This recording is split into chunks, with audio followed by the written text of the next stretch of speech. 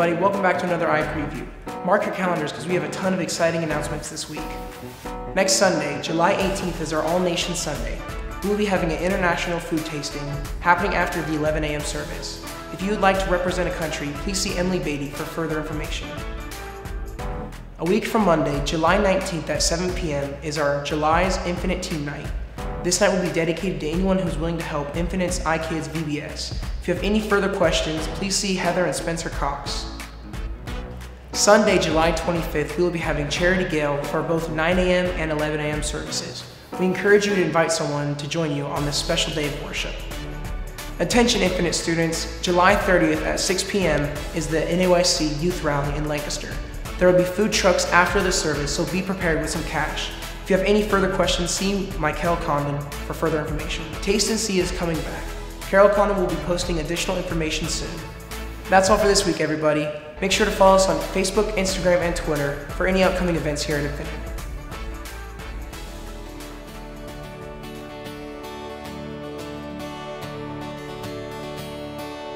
And I was buried beneath my shame.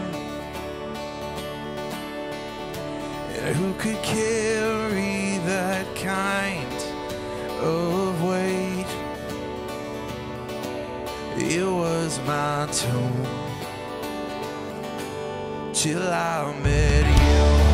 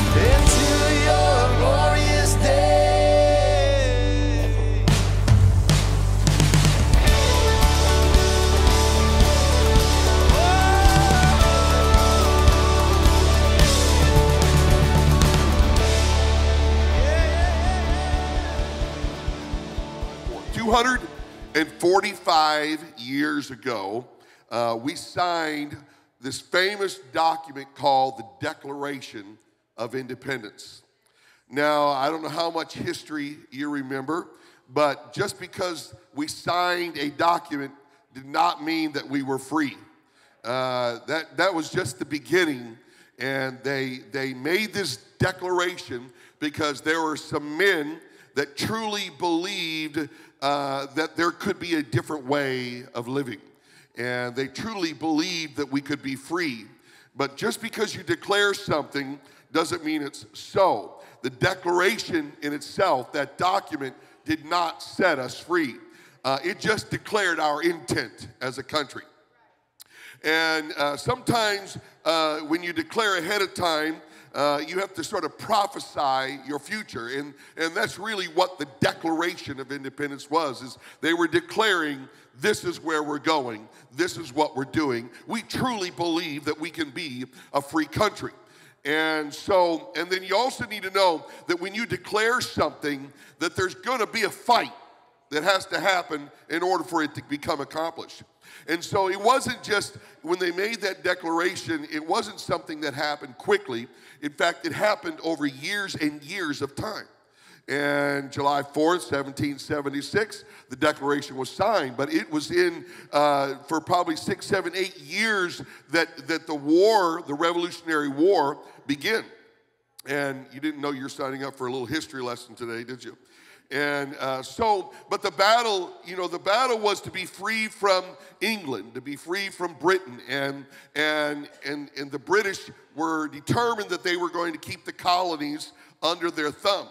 And they wanted the money, they wanted the wealth that, that they were discovering from uh, the colonies. And, and so the battle begun. And when they declared that, the battle begun, and they started with Boston, and, and they would send armies from England over to Boston, and then down into New York Harbor, they would send ships, and then into the Norfolk and, and Chesapeake Bay area, they would send ships, and then all the way down to Charleston, South Carolina, England would send ships. They were determined that they were going to keep America pressed, oppressed. And but what they underestimated was the resolve, and what they underestimated was the passion and the understanding of the vision that these men, these common people had in, in the colonies.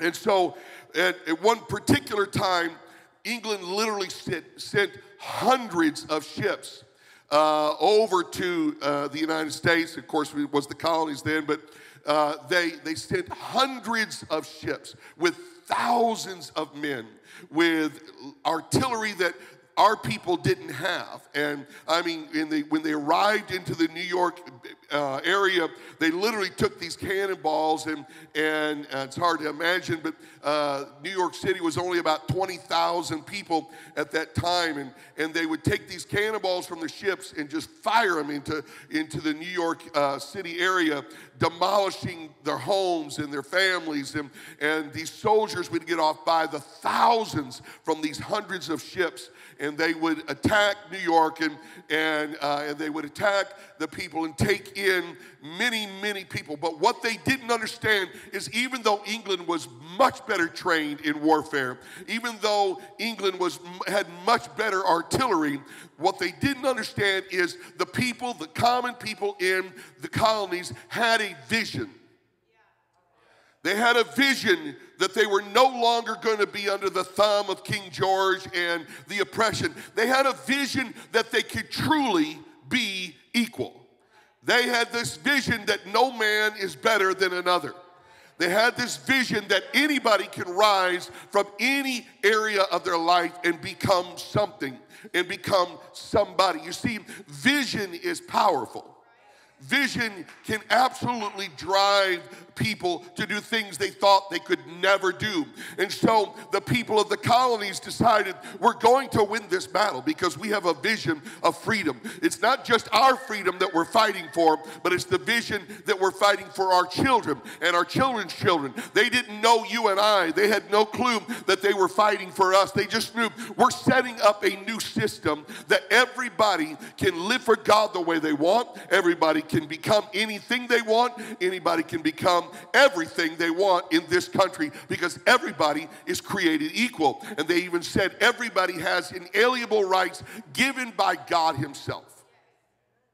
And they were fighting for you and I. That's why we have this tradition of this weekend. That's why we have this celebration. Throughout the course of the war, an estimated 6,800 Americans were killed in action, 6,100 were wounded, and upwards of 20,000 were taken prisoner. They said at one time when they attacked New York City area that they would take thousands of, of prisoners and put them on these ships and just lock them up and just let them sit there and literally starve to death and rot to death in these ships. In fact, it said historians believe that at least additional 17,000 deaths were the result of disease, including the 8 to 12,000 who died at prisoners of wars in the bottoms of these ships.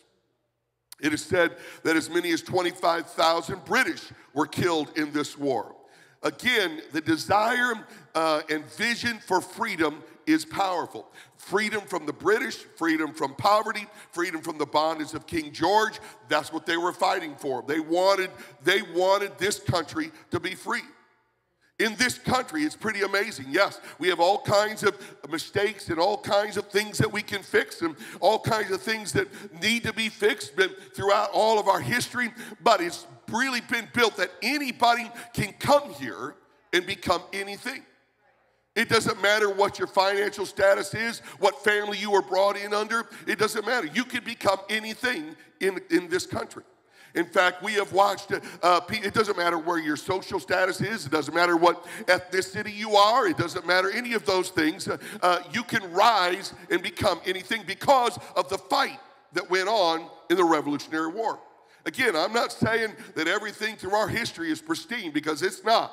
There are a lot of unrighteous and ungodly things uh, because that's humanity. But we also know that if you're a black gentleman in this, in, this, uh, in this country, you can rise from nothing and become the president of the United States. We also know if you're uh, if you have Asian descent and black descent, you can rise as a woman and become the vice president of this country. We also know that you can rise and become a doctor, you can rise and become a teacher, you can rise and become a nurse, you can do anything in this country because of what was established in the beginning in the Revolutionary War. With that being said, I want to talk to you about another vision that's even more powerful than the vision of what was fought for in, in the Revolutionary War, and that's the freedom from sin. The freedom from chaos in our lives. The freedom from sickness and disease and religion and fear and anxiety and strongholds in your life. You see, when you come to Jesus Christ, there is one who is stronger and more powerful than anyone else that can truly set us free. Over and over again, we've witnessed people walk through these doors and come from a life that, you think is impossible to overcome. But see, that's the power of freedom in Jesus Christ. It doesn't matter where you come from, it doesn't matter what your ethnicity is, it doesn't matter what your career is, it doesn't matter how much you have in the bank or don't have in the bank. When you walk into Jesus Christ, everything can change and you can be free. It doesn't have to stay the way that it is when you walk through these doors. We have people who have been bound by sickness and mental fears and emotional stress, and, and, and they realize when they meet Jesus, it doesn't have to stay the same. Because Jesus is a game changer in every one of our lives. Today, you can once and for all be free. Amen, somebody. John chapter 14, verse 6 says, Jesus said to him, I am the way I am the truth and the life. Now, I don't know about you, but I don't like not knowing where I'm going. I, that's a pet peeve of mine is to make U-turns and turn around. That just doesn't go well with me because I always feel like I just wasted a few minutes of my life if I have to make a U-turn, you know? I like to know the way. Can I tell you today that Jesus is the way? There's a lot of things that are really confusing in our country today. There's a lot of things you just don't know who's telling you the truth, but Jesus is the way. He will never fail you, He'll never leave you, He'll never forsake you. Jesus is the way. Can I tell you in a country that I love this country, but you just don't know what's true anymore? You know, I mean, you just, yeah, other than that, we know that's true, that we don't know what's true. You know, we, we, you, you listen to one, you know, station and you think, where did they get this from? And you listen to the other television station and you're like, that is totally opposite from what they're saying on the other television station. What in God's green earth is the truth? And but Jesus says, I'm the way and I am the truth. We may not understand and comprehend everything else that goes on in this world, but one thing we do know is Jesus is the truth. And the other thing we know is that he is life. And he's life more abundantly. He's the life that we can know without a shadow of a doubt. It's true. It's going to be okay. And he said, No one comes to the Father except through me. You see, once again, it doesn't matter what your background is, it doesn't matter who your family is. It doesn't matter what your finances are. Jesus is the way, the truth, and the life. You won't get there by what you do. You won't get there by who you are. You're not going to get to heaven by if your parents live for God really, really well. You're going to get there because you chose to be a follower of Jesus Christ. You won't get there by what your religious background is or was. You're going to get there because you're a follower of Jesus Christ. You're not going to get there by what denomination you associate with. You're going to get there because you're a follower of Jesus Christ. Because everything else is run by humans, and humans make mistakes all the time. But when you follow Jesus, He's the way, the truth, the light, and you're going to find victory there in your life. Only Jesus Christ can set you free. Only Jesus Christ. Jesus is freedom. Let me say that again. Jesus is freedom. If you really want to be free, it's wonderful. I love this country. But if you really want to be free, then Jesus Christ is the only way, the truth, and the life. I grew up in church. I went to church camps.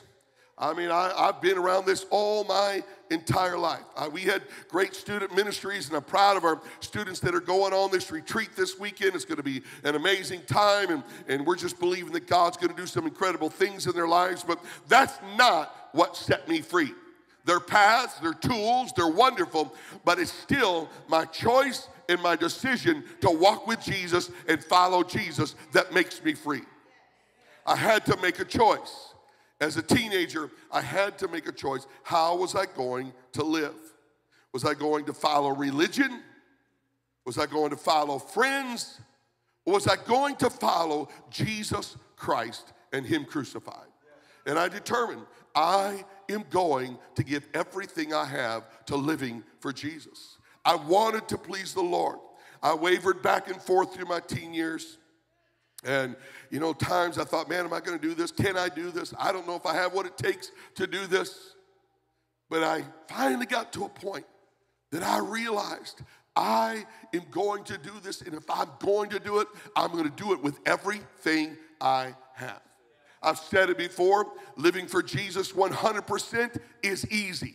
But living for Jesus at 99% will be the most difficult thing you'll ever do you must say, I'm all in. I am going to be a freedom fighter. I'm not just fighting for me, but I'm fighting for my children, my family, my children, their children.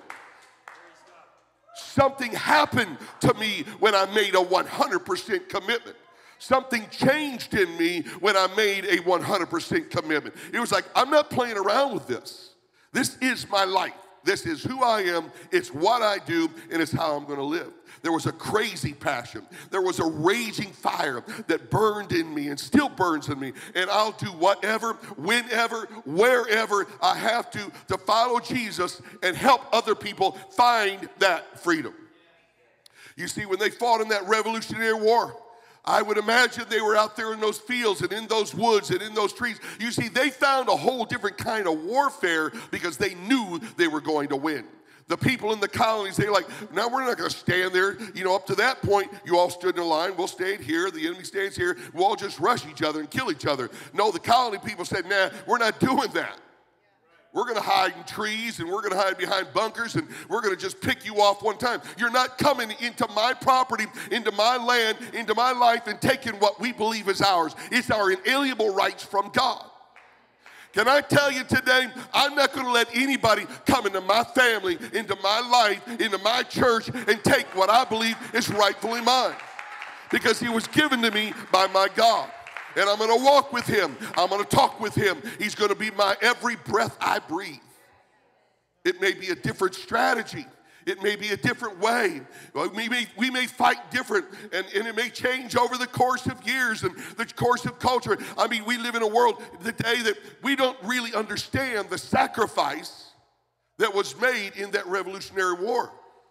And now that we're hundreds of years removed from it, it's not as big of a deal. And so it doesn't matter to us, and some of the traditions don't matter to us because we didn't pay the price. It's just easy for us to receive. But see, and it happens in the church also that if we're not careful, if we don't pass this tradition down, then one day we're going to wake up and realize, uh, you know, hey, we didn't pay the price for this. This is easy. There'll be other people that come when I'm dead and gone. They'll walk into this building. They don't know our story. It doesn't mean the same to them. They, they didn't sacrifice. They weren't on the they weren't the ones on the parking lot in the heat last summer when we were worshiping God. But see, to us, it means something because most of us, we gave sacrificially to get into this building. We gave sacrificially to watch this church rise from nothing to what God is doing. And so we fight. We fight for it. We show up and we pray for it. We serve in the parking lots. We serve in the hallways. We show up in floats and we spend hours till, till midnight making floats and stuffing little paper mache pearls and all those kind of things. Why do we do that? Because we're fighting for freedom. It's a little different. The strategy is a little different. The songs, they change, the music changes, but the message of this gospel never changes. I had a little crew this morning for a few minutes, and I was walking out there. There was nobody in the parking lot, just crew and I. And I said, Crew, I don't know what your future is. And I'm talking, I don't think he's understanding the thing I'm saying. But I said, Crew, I don't know you if you know this, but God has his hand on you. And I said, Crew, who knows? You're going to be here when the next building is built. You'll be a teenager when the next facility is built. You may be the worshiper. You may be working with students. Who knows? You may even be the pastor of this church one day. We don't know what the future is, but I'm fighting for you. I'm fighting for you. Because there's going to come a day when all hell comes against your little life. He's two years old. He probably think I have no idea what my poppy's saying. And so a car pulled on the parking lot. I said, crew, this is where we wave. This is where we wave. And I was trying to get him to wave. He wasn't paying attention. He wouldn't wave. But I said, crew, this is where we wave. This is how we tell people we're excited you're coming here today. This is what we do. We're fighting, crew. We're fighting. There's something to be worth that's worth fighting for. What am I doing? I'm pounding it in his little brain. This is what we live for, crew. This is who we are. This is what we do. We worship, we worship, and we set the atmosphere free so people can come in here and find freedom. We don't want one soul to go to hell under our watch. I don't want, I, I don't want one soul to not make heaven. This isn't just, I'm not just fighting for me. I'm not even just fighting for my kids and grandkids. I want your kids to be free. I do it. My two of my children are gone. I do it because you may have children, you may have friends, you may have neighbors that walk through these doors. I have a reason to fight. We could, we could just water down this church. We could water down the gospel. We could just say grace, grace, grace, grace, grace. But somewhere there's got to be a truth. Somewhere there's got to be a truth, and we're going to stand on what we know is the way and the truth and the light. There may be other churches, they may, uh, there may be other Christians, there may be other believers that do some things, and you say, Well, why don't we get to do that? Why can't we go here? Why can't we do that? Why can't we live this way? I don't care what they're doing. I'm not fighting their fight, I'm fighting this church's fight.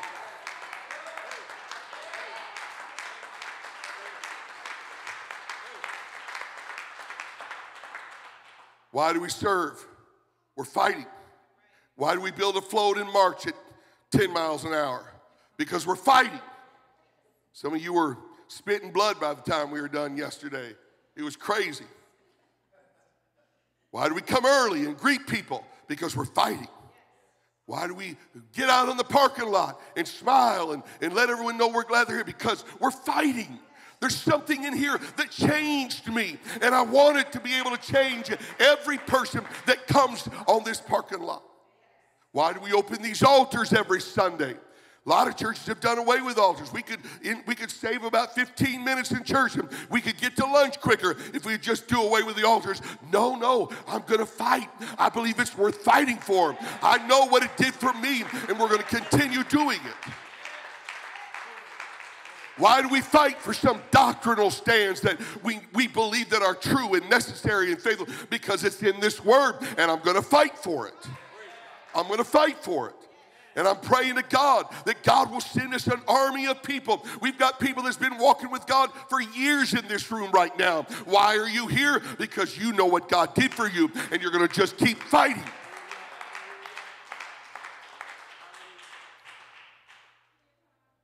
Do you realize, some of you, I think all of you maybe, there may be a few that don't truly understand, but when the New Beginnings Church merged with this church, they handed us a check for $1,470,000 that paid off this building. And we talk about how we're debt free and all that, and that's great and wonderful. But I remember telling Randy, Randy's father and mother passed away now, but they attended that church years ago.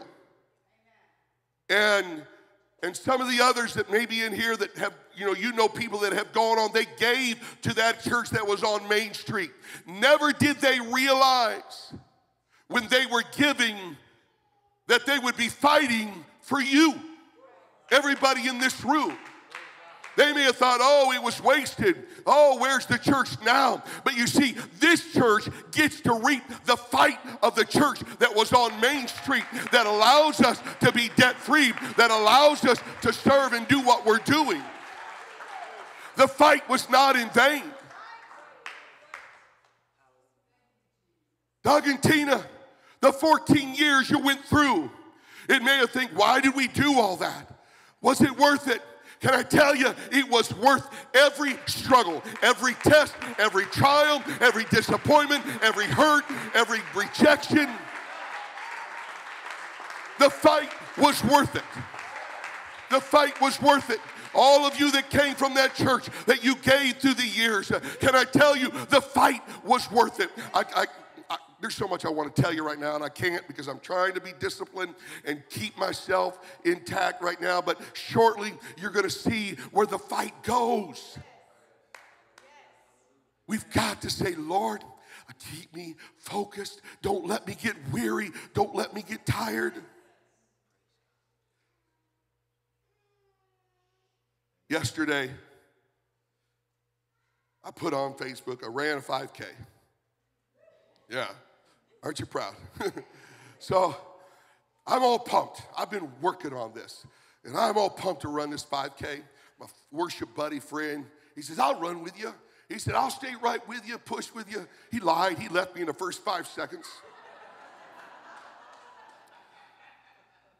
and everybody, there's a big, huge crowd. And I'm like, just, man, I thought, I'm going to crush this because I like to win. And there's about 800 people. And there's like everybody around me. I think, my God, I'm going to trip over somebody and fall flat on my face right here in the middle of New Albany.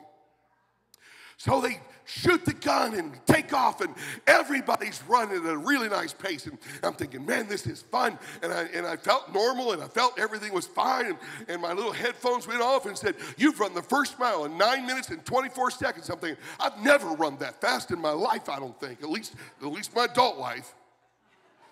And, and so I'm thinking, man, I'm going to crush this. And I was hoping that, you know, I'd had a certain time in my mind. And, and, and so I'm running about a quarter of a mile after that mile. Man, something hit me. I felt like someone clapped on 10 pounds on each foot, and something crawled in my lungs, and I didn't know the course. And can I tell you, when you run this Christian race, there are detours. There are things you don't know that's coming up. And I'm just about the time I'm starting to lose wind, and they clamped on these 10 pounds. They got this little four piece orchestra sitting in the middle of this neighborhood just playing really nice music. I'm thinking, are you kidding me? That's the last thing I care about right now. and so I'm running, and I just start to slow down a little bit and thinking, my God, I'm gonna die of a heart attack right here in the middle of this thing. And so I started finding reasons why I should quit. I started thinking, they'll understand you're old. You'll understand, you know, and, and I, I, started talking to myself thinking, I need, maybe I just need to slow down. Maybe I need to be responsible. I don't know what's going to happen here. And about that time, I see this girl come running right past me. I'm not chauvinistic. My wife thinks I am sometimes, but I'm thinking, no, I'm going to keep going. And so I keep going. And I mean, I'm just struggling. And all of a sudden, this little old guy, I think he's about seven years old, he looked like he had little sewing machine legs. They were like, and he just passed me right up. And everything in me wanted to run faster, and I could not run faster. Sometimes we start this race and we start out like jackrabbits yeah, I'm going to do everything for God. And then all of a sudden, you get hit, and it seems like someone's clamped on 10 pound weights on your life, and everything gets really tough, and everything gets difficult. And you start thinking, ah, I don't know if I can run this race. It's a little difficult, it's a little challenging. I'm sucking wind. I don't know if I can make it. And you, you find all the reasons why you need to drop out of the race. Can I tell you, don't you dare quit. Don't you dare quit. I started to watch people that ran way ahead of me. They experienced the same thing I experienced because they started walking. I mean, they started walking. I'm like, nah, we ain't walking. We're going to keep running. We're going to keep running. I may, it, I may be going the same pace if, as if I was walking, but I'm going to keep running. I saw a dad, and he was running with his girl, his young girl. I say she's probably around 12, 13. And she was, she said, Dad, I gotta stop, I gotta stop, I gotta stop.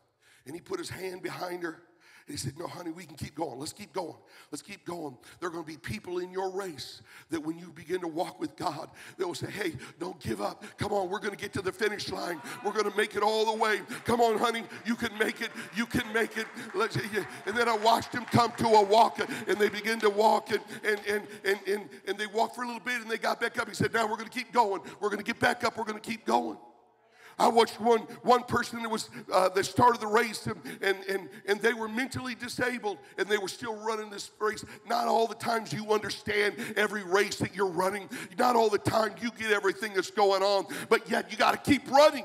You got to get the race. You got to keep going. I remember when I crossed the finish line, my buddy who left me obviously was at the finish line. He's the one that shot the little video of me. And as I was coming around the corner, as I was coming around the corner, you could hear all these people say, Come on, come on. I think they were saying it to everybody, but I took it personally. And they were saying, Come on, come on, you can make it, you can make it. And I just running, trying to get to the finish line. It never looked so good to me. I saw that little uh, little line where they had him. I'm like, my God, I just got to get to that line. Can I tell you? Can I tell you? There's a line coming. There's a line, there's a finish line that's coming. And if we'll keep running this race, if you'll keep fighting this fight, it's going to get weary. There's going to get times that you, there's going to be times that you wonder, can I make it? Can I make it? But you know what's great? There's going to be people that's run before you, some of your relatives, some of your friends. They're already at the finish line and they're going to have their phone. Uh, I need my phone there. Is this mine? And they're going to be at the finish line of heaven and they're going to be saying, Come on, come on. You can make it, Emily. You can make it. You just come on, get over here. Get over here. There's going to be people, Avery, they say, Come on, Avery. Come on, you can make it just a little farther. Just a little farther. Come on. You've got loved ones that are already over the finish line and they've already made it and they're rooting you on. Come on, we got to keep fighting. We can't slack up. We can't let go. We can't water down. Come on, just get you get you some stamina and say, "Let's go. Let's fight this fight."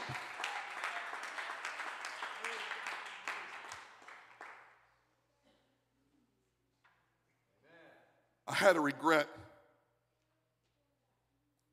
I needed the Rocky theme song in my iPad for the last mile.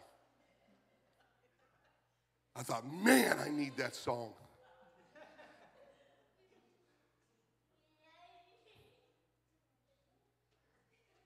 John 8 36 says, Therefore, if the Son makes you free, you shall be free indeed every price, every time you stayed up late to pick up a young person, every time you went to a rehearsal, every time you showed up and served. Every time, whether it's hot or cold, you welcome people onto the parking lot.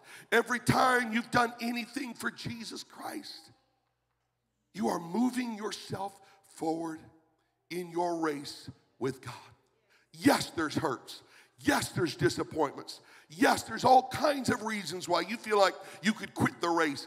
Can I encourage you today? Don't quit the race. Keep fighting for freedom, for you, for your children. You say, I don't know if they'll ever make it.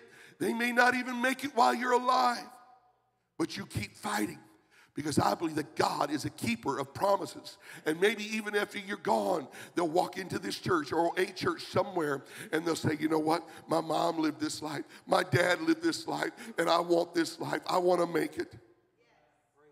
Only Jesus Christ, only Jesus Christ can set you free. We're going into this Olympic season. I've been watching just a little bit of some of these people trying to qualify. And, and can I tell you the champions are not made at the Olympics? They're not made at the Olympics. That's just where they're recognized. That's just where they're recognized. Champions are made at what they do every morning of their life. When we get to heaven and we receive our, receive our heavenly rewards, uh, that's just where we'll be recognized. But our race is being run every day of our lives.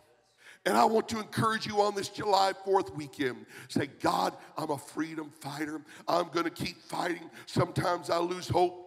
Sometimes I think, you know, is it going to be worth it? Are my kids going to make it? Is my family going to make it? Am I going to make it? You keep running and you keep fighting, and don't you ever give up. Don't stop praying. Don't stop coming to, uh, to uh, corporate prayer meetings and all those times that we're just moving to be stronger in the presence of God.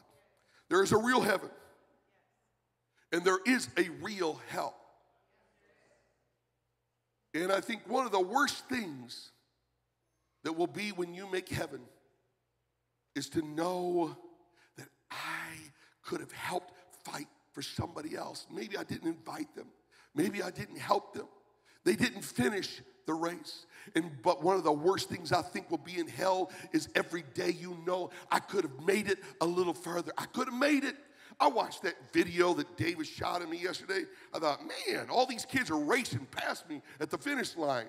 I'm thinking, why didn't I at least finish strong? You know, why didn't I like at least find some energy? Because I felt like after I watched the video, I could have run faster at the, the last five seconds of it, you know? So at least when I got on video, I, I looked like I was about to throw up when I got to the end. Just get to the end. Just cross the line.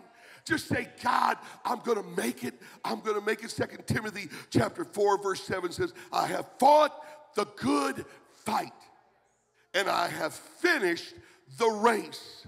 And when it's all said and done, I want to say, and I have kept the faith.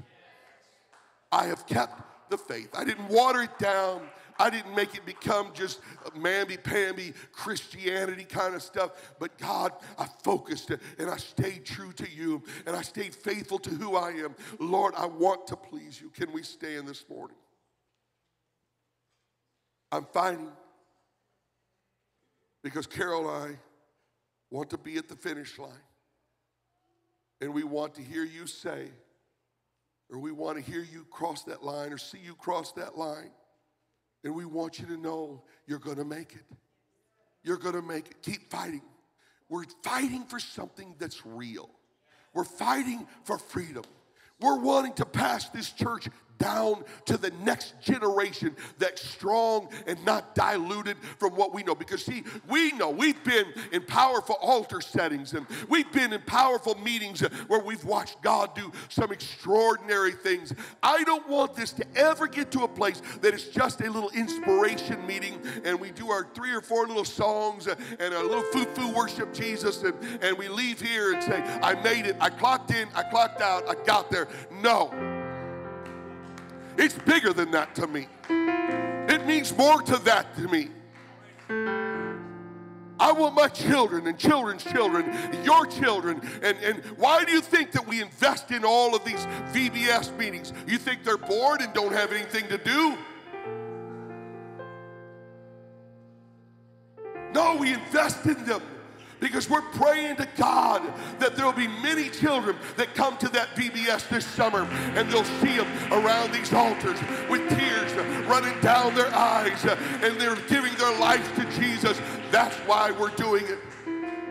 Why do you think we walked so fast and handed out cards yesterday? Because we're fighting for something that's bigger than us. I'm thankful for every person as I was studying this week. I just wanted to say thank you to these people I've never met. That their lives and their blood was spilled out in some field, that some never even found them. That mothers never got to see their kids again because they were out fighting. Maybe some of them didn't even know what they were fighting for, they just knew that they were supposed to go out and fight. This gospel is worth fighting for. I know there's hurts in church and there's rejection and, and there's troubling times and confusing times, and I get all that. But it's not going to ever, ever, ever cause me to stop fighting for truth. One of the ways you recognize the armies were by their uniforms. And they'd always say, hey, they're the redcoats, they called them, the British. The British had a uniform.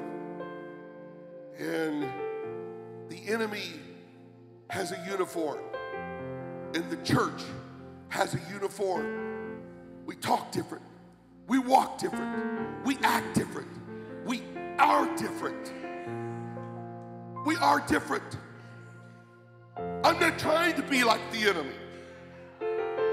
I'm not trying to look like the enemy. I'm fighting. I'm fighting because I want the church to be the church.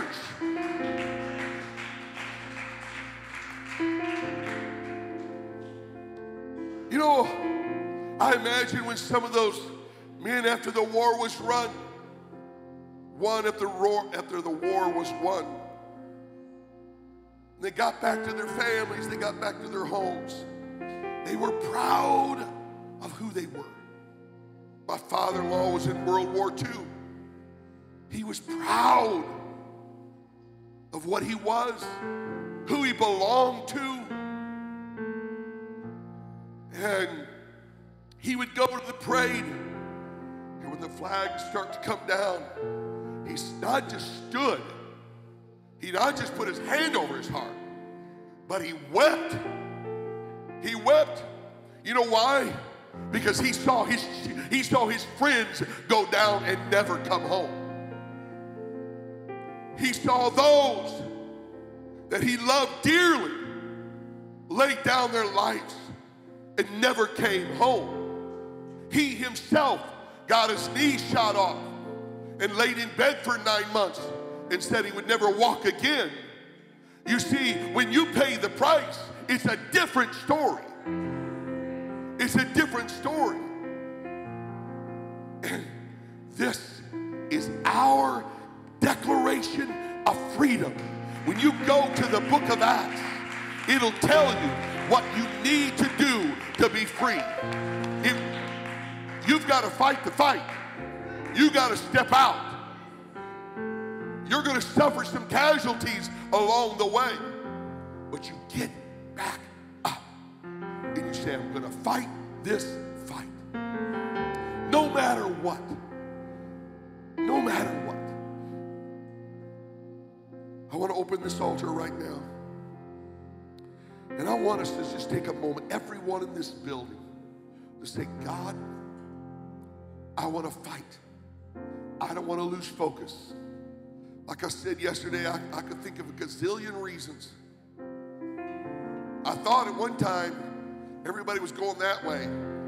I thought if I turn this way, start running down the other road, they'll never know.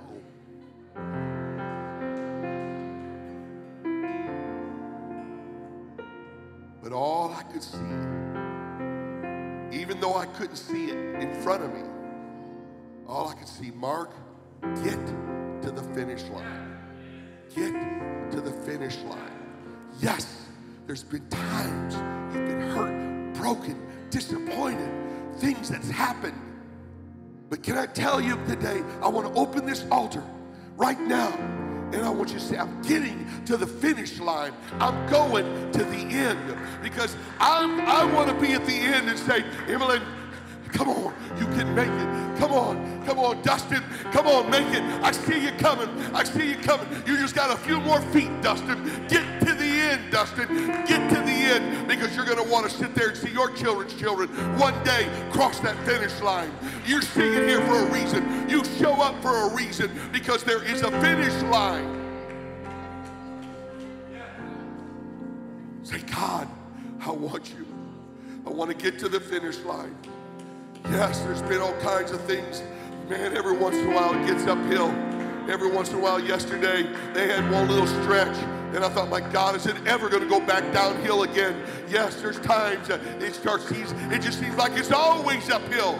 But if you'll keep running, if you'll keep going, you'll get to the finish line. Come on, church. Let's cry out to God right now. Say, Lord, I want to make it. I want to make it to the finish line. I want to fight for freedom today. What a great day to find freedom in your walk with God. July 4th, 2021. Yeah, come on, sing, worship team. Come on, church. Lift up those hands. Fight for freedom. That's how we fight. That's our weapon. Praise is our weapon. That's how we overcome through our worship.